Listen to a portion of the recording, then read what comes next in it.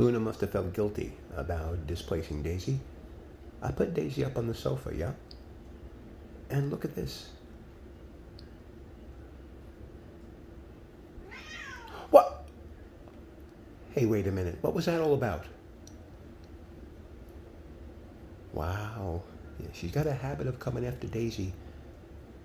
That's not nice at all, Luna. Good grief.